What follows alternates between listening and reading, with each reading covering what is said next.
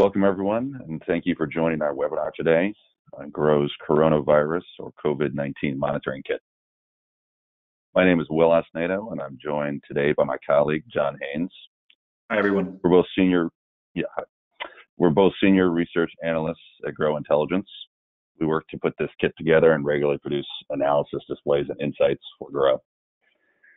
Please don't hesitate to submit questions during the presentation using a control panel, and we will answer them at the end.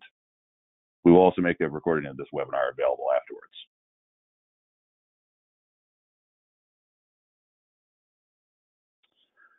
Today's webinar will explain how to use Gro's COVID-19 monitoring kit.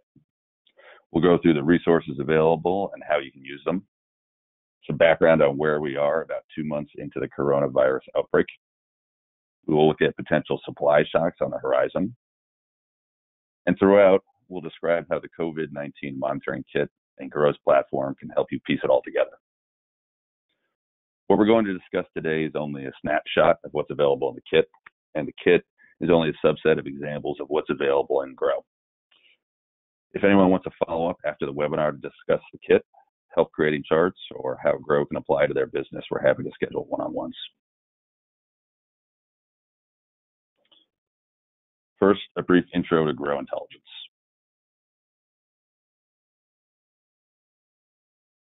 Many of you are familiar with us, but for those who are not, Gro takes vast amounts of agricultural related data, standardizes and organizes it in order to build forecast models and gain insights while allowing, allowing clients to add their own proprietary data to enhance the analysis. The goal is to better is to enable better, faster decisions about anything affecting the agriculture industry. We do this by collecting 55 million data series across public, licensed, and proprietary sources. Sources vary from satellites to governments to commodity exchanges and private data sources for a truly unique platform. Now I'll turn over to my colleague John to explain what's in our COVID 19 kit. Thanks, Will. Um, welcome, and I'm just a reminder to add questions to the queue and we'll answer them at the end. I'll start today by explaining our goals in producing the COVID-19 kit as coronavirus spreads globally, the potential impact really can't be understated. Uncertainty and reduced consumer demand have led to historic moves in financial markets and sparked a crude oil price spat between major producing countries. The outbreak has disrupted global shipping and consumer demand at a time when the agricultural economy is already working its way through a series of shocks. In introducing our COVID-19 monitoring kit, Gro aims to highlight the broad and nuanced impact that the outbreak will have on both global and local agricultural markets.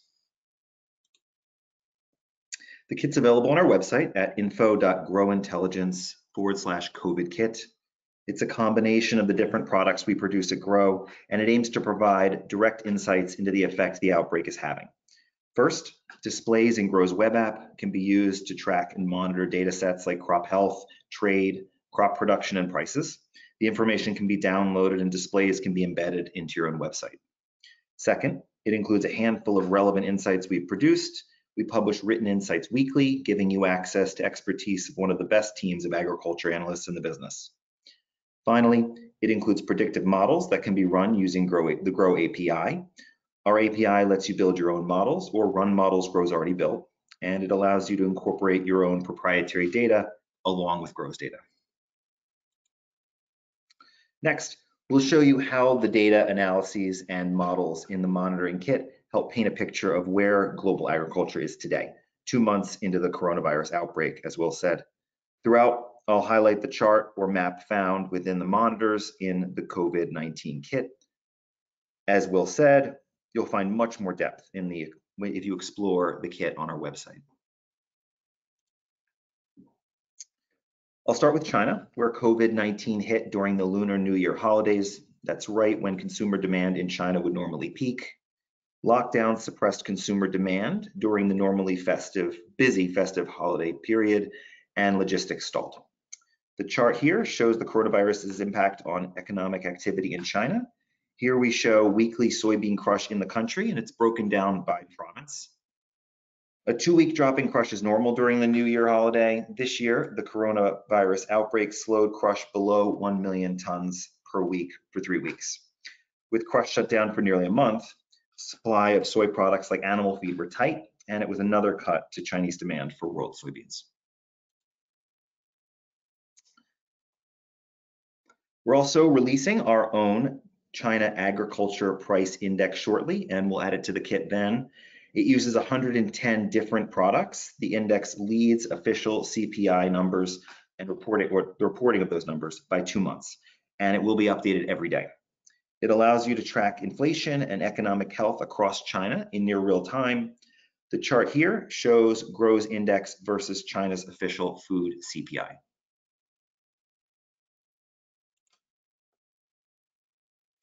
Next, we'll highlight users' ability to monitor trade in Gro.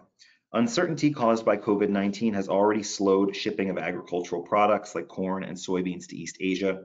Japan, South Korea, and China are already drawing down domestic reserves, and it will be important to monitor food supplies in those countries that import a significant portion of their needs. Shipping from export centers in the Americas to East Asia takes 30 to 40 days roughly, so there's little room for logistical difficulties. In the chart highlighted here, you can see monthly export volumes of corn to Japan. They've been weak to start the year. Gro users can see the figures update as trade data comes in to better understand Japanese supply and demand. The impact is not only seen on the importer side of the equation, our kit also analyzes the impact on major exporters who see growing piles of grain sitting at ports. Included in the kit are a monitor of soybean exports from Brazil and a monitor of weekly export flow of US corn to Korea. We also have a monitor of monthly grain imports into China. An assessment of the current state of global agriculture would be incomplete without a look at the impact of African swine fever. The shocks in agricultural markets caused by African swine fever, or ASF, are still being felt. The disease decimated hog herds in China, hog and pork prices remain very high in the country as the outbreak of COVID-19 spreads. The chart here shows the first signs of tightening pork supply in the first quarter of 2019. And we see the rise in hog price, hog cash prices in China from about 10 to 15 renminbi per kilogram in 2018 to a 35 to 40 renminbi per kilogram range today. The increase in pork prices led to a shift in protein consumption from pork to chicken in China, Reduced hog feeding caused a significant decline in Chinese soybean demand and disrupted grain demand patterns globally.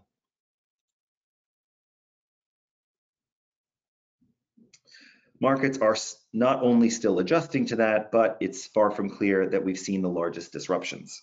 ASF is now spreading within Asia, and a recent outbreak was seen within a few kilometers of Germany, the world's second largest pork meat exporter. That could result in reduced demand for European pork if, ASF out, if an ASF outbreak leads to import bans. The chart from the kit here shows monthly export volumes from major producers.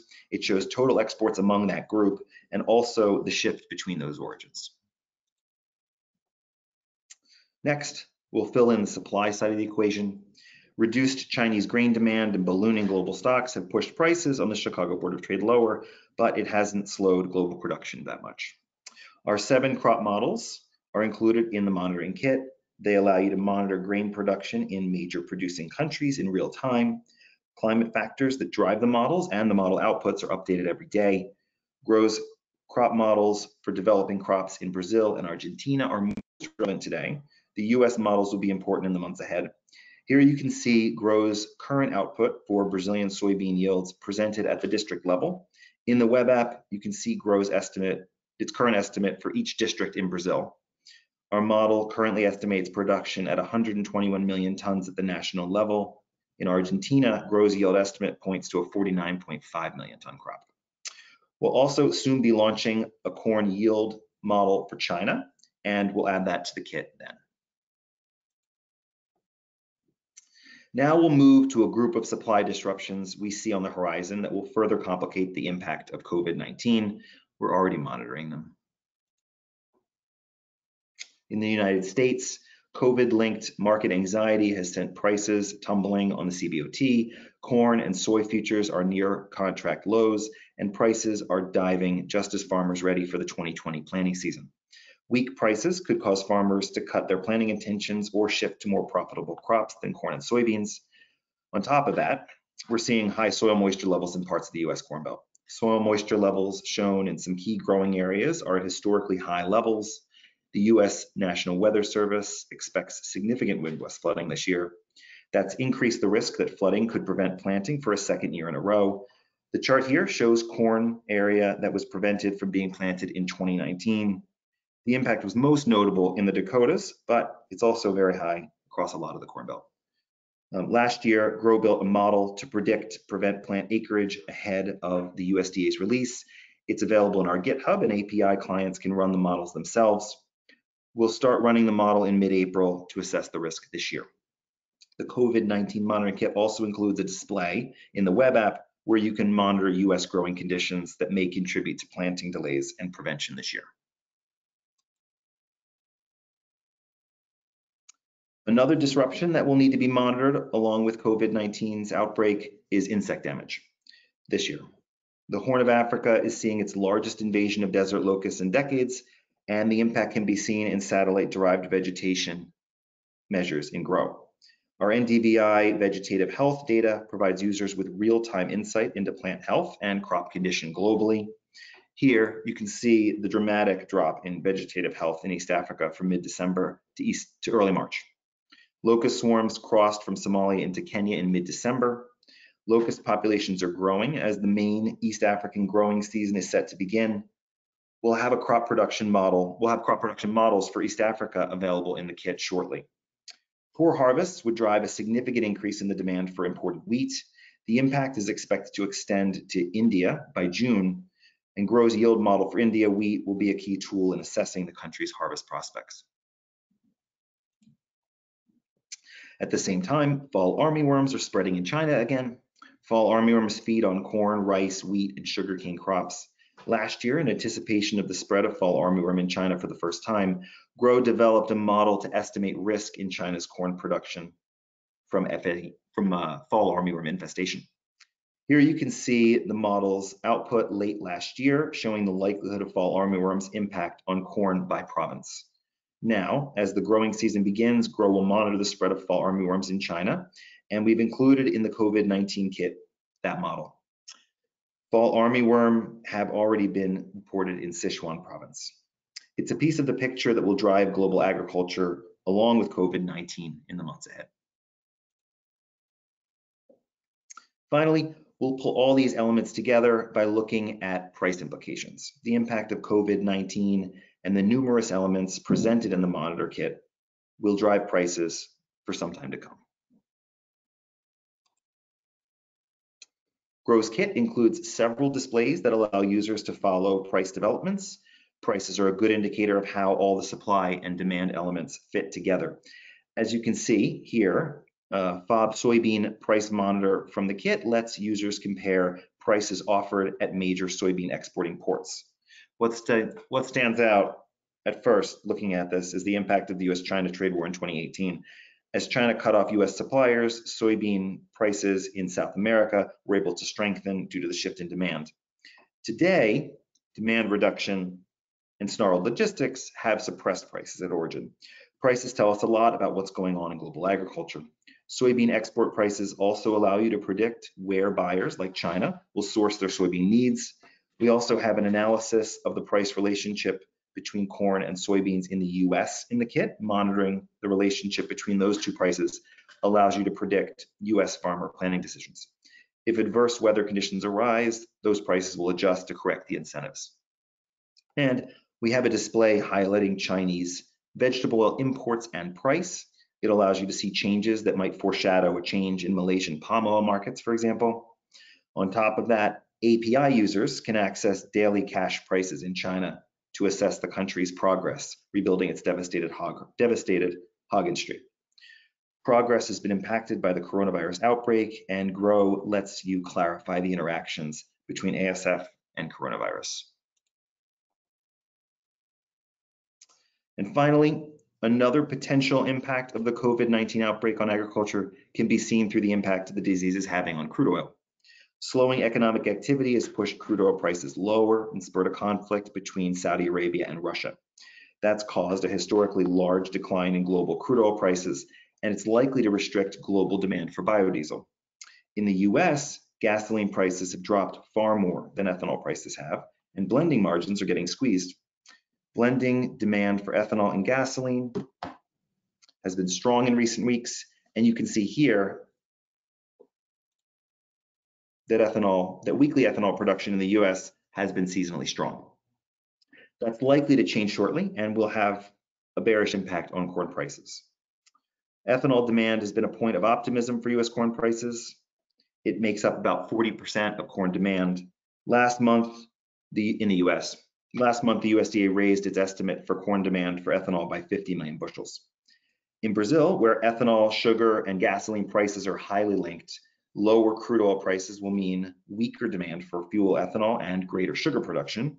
In Malaysia, where palm prices have, been, have declined on weaker Chinese demand already, the widening spread between palm and crude oil prices will significantly reduce demand for palm-derived biodiesel.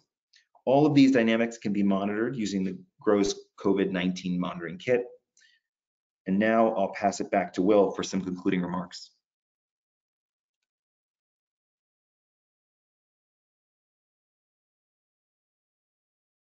Thanks, John. In conclusion, our kit aims to capture the deep analysis we've already done here at Gro, but there's much more to be found on our platform where you can build displays and monitors of your own, or you can adjust and tweak our displays or models to better suit your needs. You can access the Corona kit at the website listed here, or you can go directly in the web app, click on curated displays on the panel on the left-hand side and search for coronavirus or COVID-19. As a reminder, this is only a portion of what's available on Gro. We cover a wide range of crops and analysis. If anyone wants to follow up after the webinar to discuss the kit or how Gro can apply to their business, please reach out to schedule a one-on-one. And reach out with any questions about access to any models or data at intel at growintelligence.com. Now let's take a minute to collect questions on the presentation, which you can submit using the panel uh, for the for the webinar. Uh, and if we don't get to your question, we will get back to you individually with a response. Thanks. Okay, uh, first question. Uh, what is the biggest impact you've seen so far from COVID-19 on U.S. ag? So I think the biggest impact at the moment's been the effect it's had on prices in the U.S. So you've seen increased risk for, um, or potentially in, reduce, increased risk. We've seen increased risk that China might not be buying, and the economic activity in China and also Asia and really globally um, will be suppressed, and so that's affected prices. And you've also seen just general uh, movement out of uh, movement of money out of financial markets in general, and that's affected corn and soybeans um, and agricultural crops in general. Those are the most highly traded ones.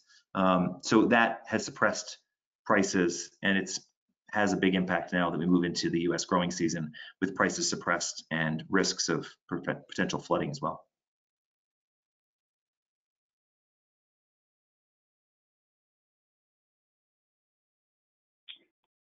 We have a question on uh, some of the data sources that we have and what are the date ranges that have gone into some of these models? So it's very varied, um, and we can get back to you in more specifics on that. If you're in the web app, if you're looking at a display um, or a monitor in the web app, you can see the date range. If you go to edit, and it'll show you the, the range of data available for that specific series. If you have anything specific or some questions about that, please do email us at intel at growintelligence.com and we can get back to you quickly on um, specific date ranges of things. But it's, I mean, it's satellite data goes back um, for really a lot of the series go back very far. Brazilian IBGE um, data goes back to 1974 for every municipality production of corn and soybeans. Um, so it's really extensive. Uh, another question, uh, how can pesticide companies use your model around pest infestations? You said again, Well, That I didn't catch the end. Yeah, sorry. How can uh, pesticide companies use uh, our uh, pest infestation models? Oh, sure. So it, with the fall armyworm model, for example, what we did was our data science, our data scientist came up with Um, basically, it was uh, similar to US growing degree days, if anyone's familiar with that, which is the growth cycle of corn. But there's a very similar metric that can be used, uh, pest degree days, for the life cycle of the pests, and it's temperature and climate dependent, mostly temperature dependent.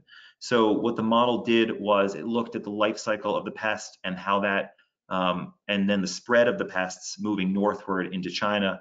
Um, and then that was overlaid with the crop where we were specifically targeting corn here. Um, so you had the crop mask for corn, and so we could combine those pieces and put together the risk of the insects affecting um, corn in China. So the connection there with pesticide, of pesticide companies, for example, would be um, noting where risks exist and where um, measures might need to be taken, and in what specific regions that would happen and what timeline that would occur over.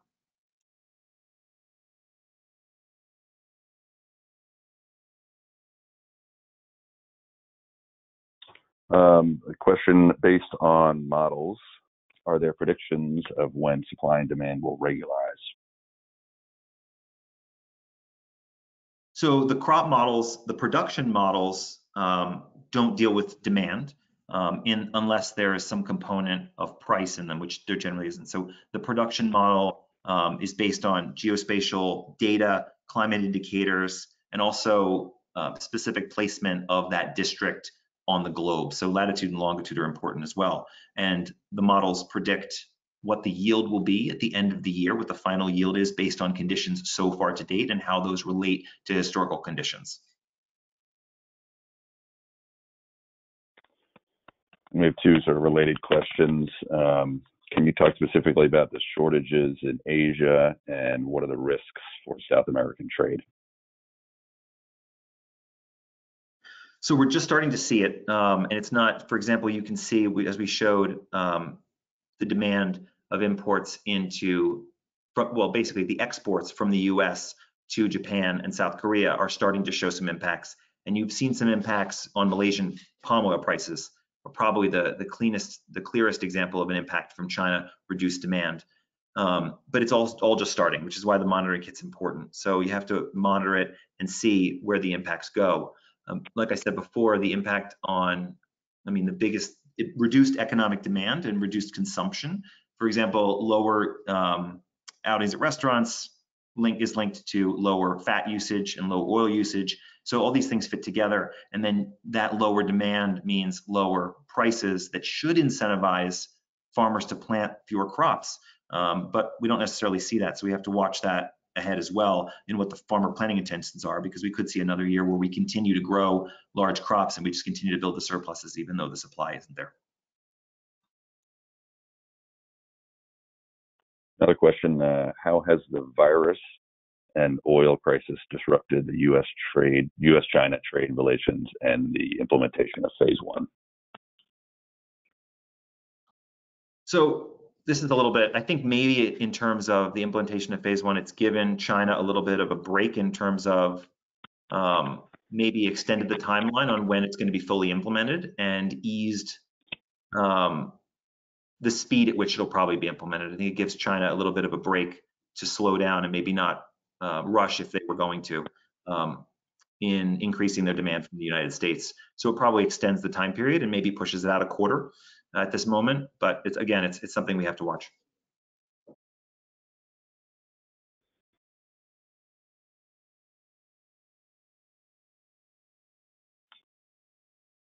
Uh, are there any risks identified for agriculture in West Africa, particularly Ghana and Nigeria?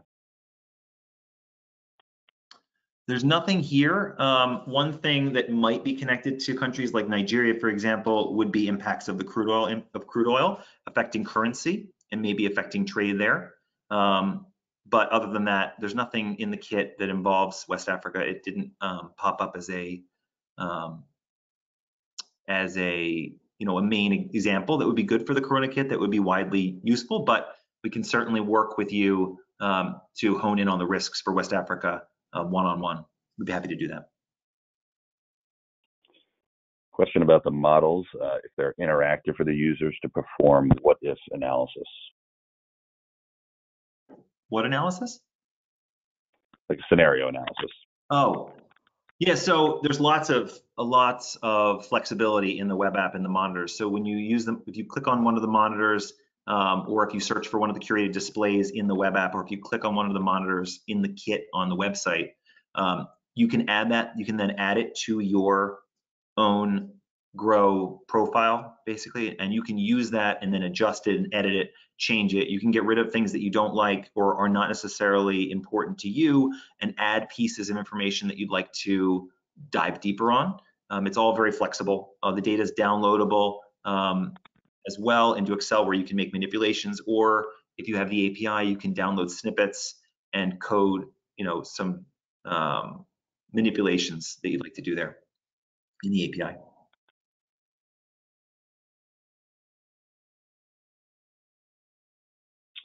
Another question is, are there any leading indicators uh, that would front run an increase in price volatility that we can track with Gro?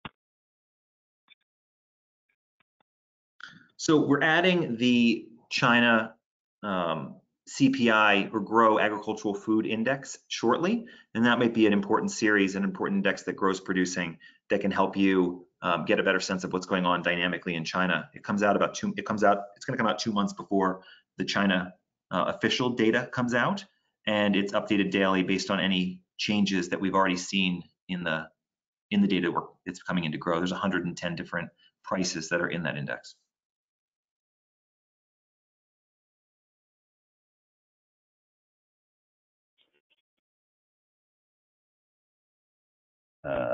Bulk grain shipments getting delayed or canceled Yeah, so we can see that in the export sales report from the USDA. Um, we don't have weekly exports from Brazil or lineups at the moment. We are looking into maybe adding that. Um, right now, you can see from the United States, you can see the export sales, the accumulated sales, and the accumulated shipments, and also sales that have not yet been shipped. And we can and you can monitor when those numbers change and anything cancel gets canceled. A question about the locusts in Africa. Uh, does the problem uh, seem under control or is it continuing to spread to other countries and regions? So it is, it's not necessarily under control. I mean, we've seen when I first, when we first put out an insight on this topic um, about a month ago, um, you could see a clear drop in vegetation um, from mid-December to mid-February, and it just continues to get the color on the vegetative index map available in Gro just keeps getting paler, more yellow, and the green keeps dropping. And so it seems that as we move into the heart, the plant, the main producing production period, that it's going to continue to, um, that the population continues to increase. It's also expected that this is going to extend um, across to India as their growing season um, starts. So it's going to be important to monitor. It does continue. It does look like it's continuing to expand.